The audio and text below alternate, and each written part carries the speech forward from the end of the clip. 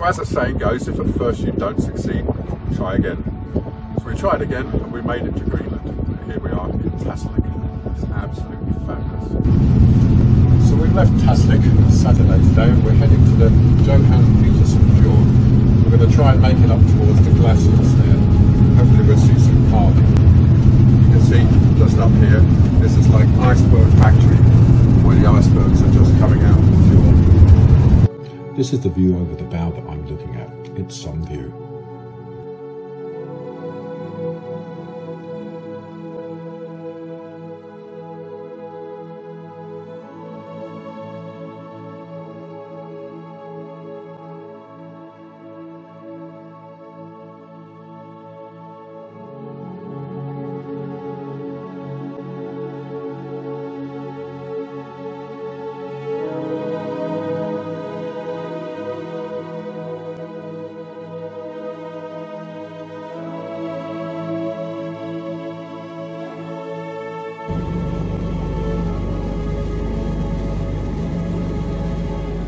Seas around Greenland are considered so dangerous due to the prevalence of icebergs and fog that any vessel entering its territorial waters must inform the Greenland Coast Guard of its voyage plan in advance and update them every six hours as to its position and situation.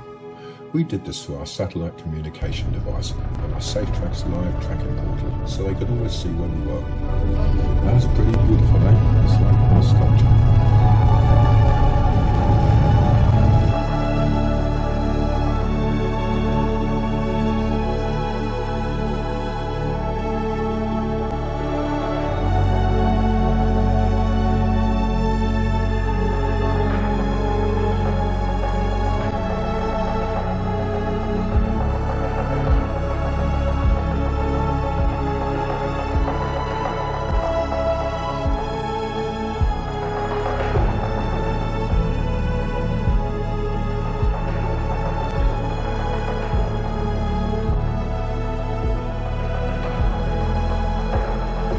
Navigated up the fjord to try and reach the glacier, but we've been thwarted by sea ice, really. Uh, the big bergs are okay to navigate around, but the small pieces of ice now, oh, it's just too big. Further up the fjord, the ice closed in, and if we went up any more, it would have been pretty dangerous, as there wouldn't be room to turn or manoeuvre without coming into contact with a growler. Sometimes there would be a line of ice caused by a tidal eddy that there was no way round, and the only solution was taking her out of gear before it and letting her drift through it. Her exposed props were particularly vulnerable, and her hull sure as hell wasn't designed for going through any kind of heavy sea ice.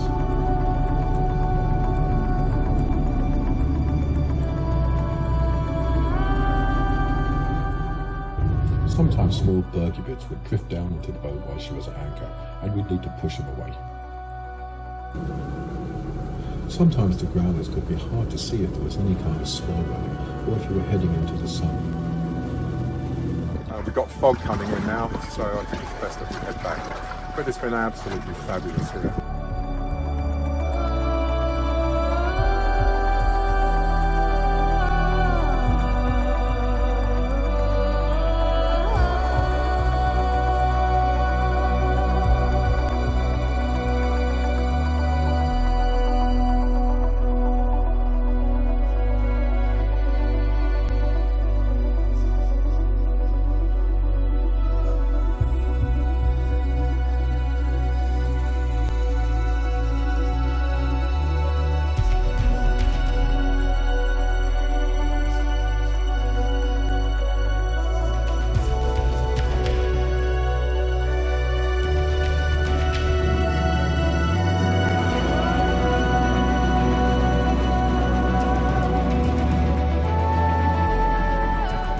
This with Thunder Child anchored out in the bay. It's a beautiful spot. Today we're heading to Kulusuk Island, which is just up the coast a little way north. There's a glacier there which we should be able to reach. Go up the fjord there to, to see the glacier. Dangerous? you can tell by that reaction. Yeah. yeah. We wouldn't like you to go.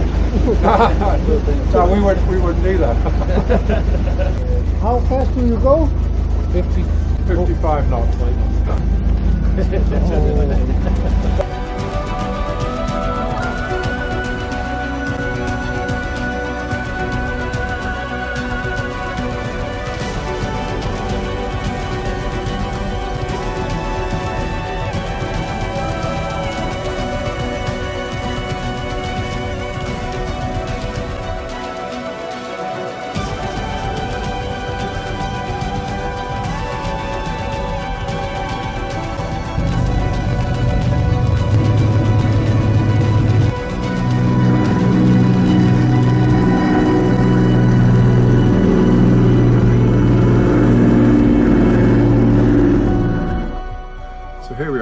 Last day in Tasiilaq. We spent four days here.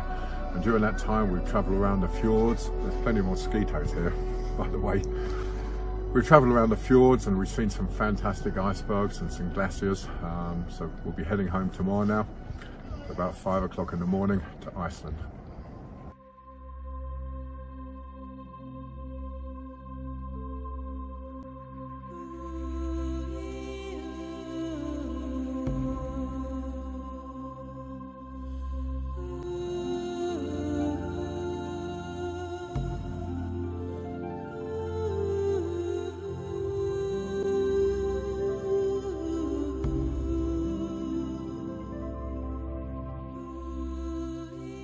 Some of the icebergs were truly massive, almost like city blocks. One had to be very careful about getting too close to an iceberg, as there was always the danger that it might suddenly fracture, break apart, and roll over on top of Thunder Child. Some 90% of an iceberg is hidden under the water, and one could easily get caught out, as they can extend far out below the surface and the part you actually see. We could see this quite clearly from the drone, so we could judge where we could go, but you had to be really careful. Downwind or down tide from the berg, there would often be broken ice and growlers, so you had to steer well clear of this area.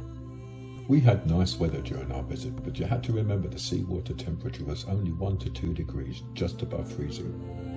And you're pretty much on your own should something bad happen, as the coastline is almost uninhabited.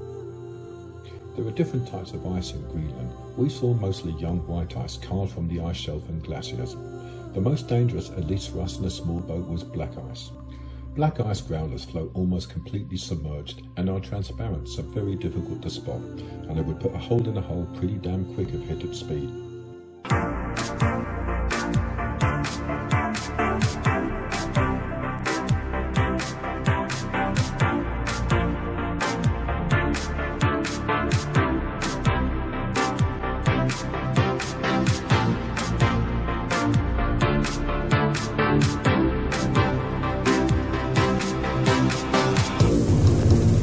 Kenny is going to try and fly the drone through that hole. Good luck, Kenny.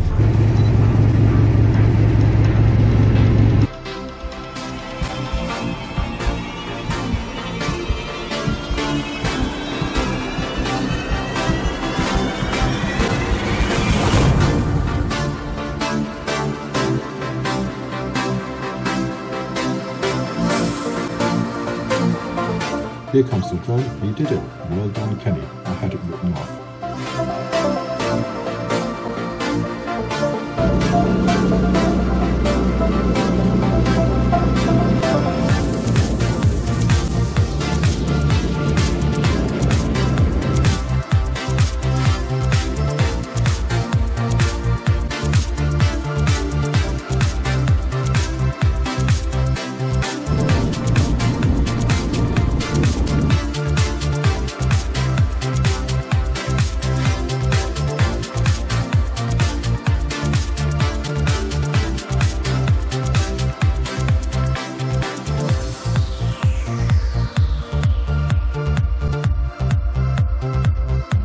Today we're heading to Reykjavik and then on to the Faroe Islands and it'll be a two and a half thousand kilometre voyage home back to Ireland.